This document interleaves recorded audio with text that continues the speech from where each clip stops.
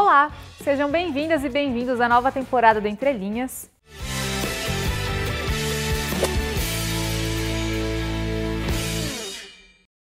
Eu me chamo Bárbara e no programa de hoje nós discutiremos o livro Quarto de Despejo de Carolina Maria de Jesus.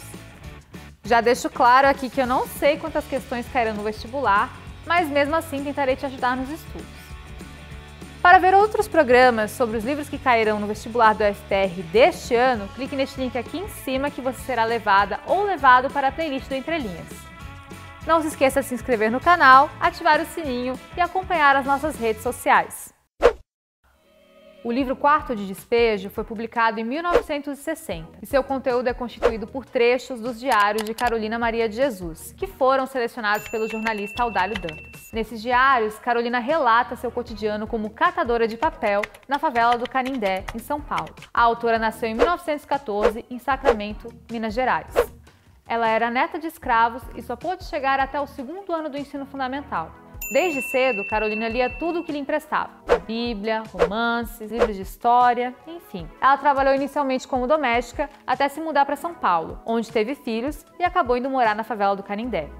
Ela não tinha marido e se sustentava catando papel e restos de lixo. Como ela gostava de ler e escrever, Carolina relatava em seus diários os episódios de cada dia e, juntos deles, os seus pensamentos e reflexões sobre a vida dentro e fora da favela. O livro se chama assim porque, segundo a autora, a favela é o quarto de despejo de uma cidade e nós, os pobres, somos os trastes velhos.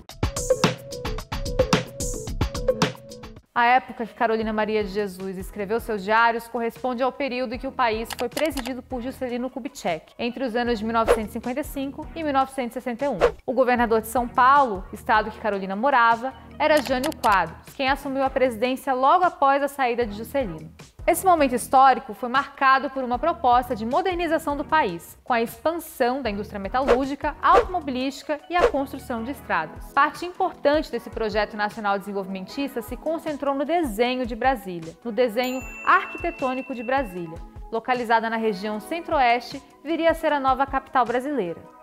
O lema 50 anos em 5, normativa para a construção da cidade, acelerou o intenso movimento migratório de obreiros vindos principalmente da região nordeste do país e de servidores públicos vindos principalmente da, da região sudeste. Por conta das reconfigurações na urbanização e do êxodo rural, a população das periferias em grandes metrópoles como São Paulo passou a acomodar uma vasta quantidade de imigrantes, sobretudo do Nordeste brasileiro. As favelas, que eram um fenômeno até então mais típico no Rio de Janeiro, começaram a crescer em São Paulo, onde boa parte da população vivia e ainda vive em péssimas condições sanitárias e baixa segurança alimentar. No campo da literatura, essa época foi marcada por autores como Guimarães Rosa, que mesclava o modernismo com o regionalismo, inserindo em suas narrativas modos populares de fala, e por Clarice Lispector, cuja obra é recheada por fluxos de consciência e epifanias.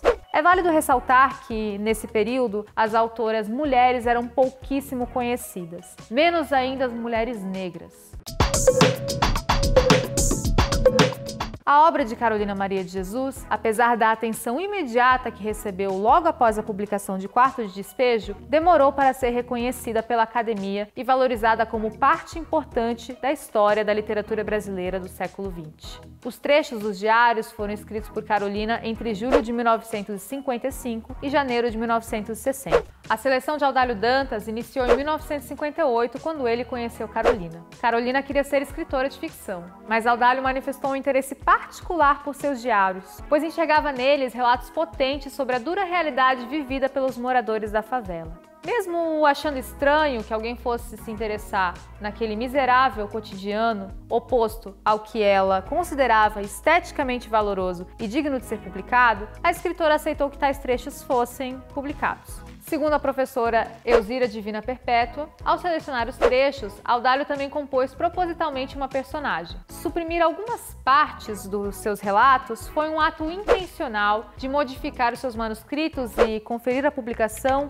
um valor de representação coletiva e não particular da miséria e do abandono, de quem vive nas favelas. E para isso foi necessário que o editor adaptasse a narradora a um modelo de sujeito que convergisse com a personagem, que, além de íntegra, forte, resignada e atenta aos problemas da comunidade, fosse também submissa, passiva, sem capacidade de julgamento e sem liberdade interior. A edição de 9 de maio de 1958 da Folha da Noite, uma subdivisão da Folha de São Paulo, publicou uma reportagem sobre Carolina Maria de Jesus e seus diários. A matéria repercutiu na imprensa e vários jornais e revistas do país comentaram sobre o assunto. Em 1960, a editora Francisco Alves publicou o livro Quarto de Despejo. A primeira edição saiu com 30 mil exemplares e a obra foi reimpressa sete vezes ainda no mesmo ano, que fechou com um total de vendas de 80 mil exemplares. O livro Quarto de Despejo também foi traduzido para 14 línguas e distribuído em 20 países. Após a publicação e as vendas, Carolina conseguiu sair da favela e morar em Osasco, onde escreveu seu segundo livro, intitulado Casa de Alvenaria.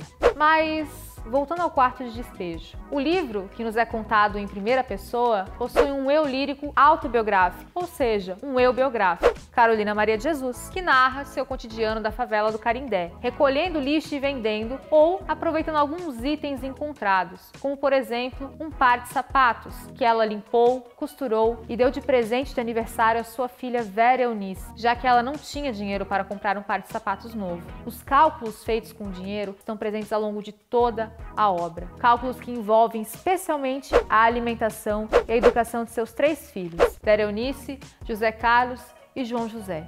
Além disso, são também contados causos dos seus vizinhos, sempre com um tom de julgamento por parte de Carolina em relação aos seus comportamentos, principalmente no que se refere ao consumo de álcool, brigas e nudez que ela presenciava. São vários os comentários críticos que a escritora tece sobre o que é viver a situação de miséria. Por exemplo, quando afirma que atualmente somos escravos do custo de vida, ou que lutava contra a escravatura atual, a fome, ou mesmo quando comenta sobre a situação política do país. A democracia está perdendo seus adeptos. No nosso país, tudo está enfraquecendo. O dinheiro é fraco, a democracia é fraca e os políticos fraquíssimos. E tudo que está fraco morre um dia.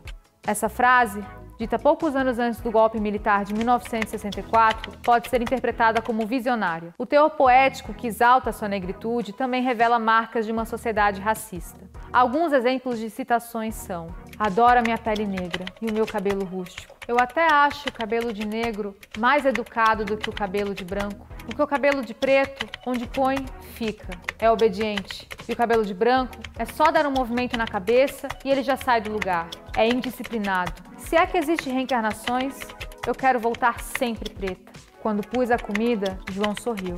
Comeram e não aludiram à cor negra do feijão porque negra é a nossa vida. Negro é tudo o que nos rodeia.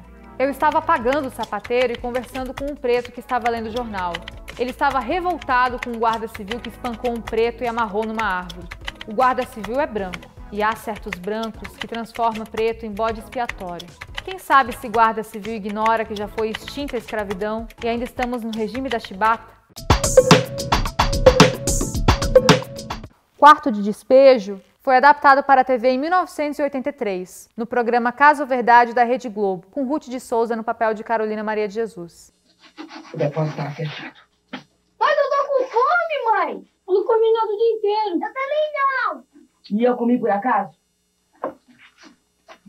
E a caneca? Eu quero mais leite! Eu também quero! mais leite! Vai tudo pra cá. Todo mundo dormir.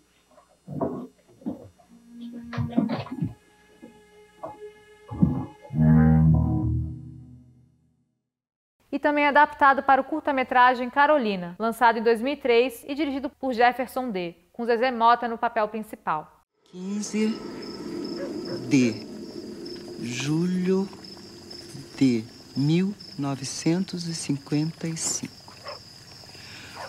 Hoje é aniversário de minha filha, Vera Eunice. Eu queria dar um par de sapatos para ela. Mas o custo dos gêneros alimentícios não nos permite a realização dos nossos desejos. Atualmente, nós somos escravos do custo de vida.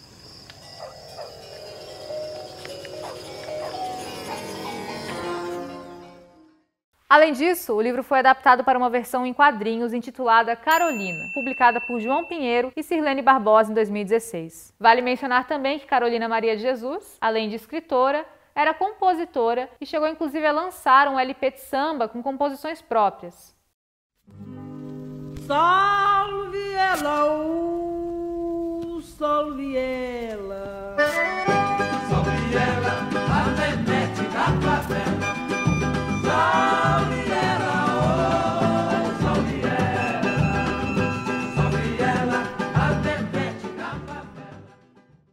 você achou esse vídeo útil para os seus estudos, comente aqui embaixo e não se esqueça de curtir e compartilhar. O Entre Linhas de hoje fica por aqui. Até a próxima! Bárbara, e no programa de hoje... Nossa, essa gesticulação tá muito falsa. aí, volta aí. Volta aí. Cairão no vestibular. Agora faz de volta, tem um fio de cabelo teu que tá fazendo nosso, muito. Esse, esse aí bem na frente aí, ó. Tá, vou ter que falar de novo. Dão. Vou virar de novo. Um pouquinho de água que minha boca tá seca. Não dá. Dão. Vou virar de novo. Por aqui. Até a próxima!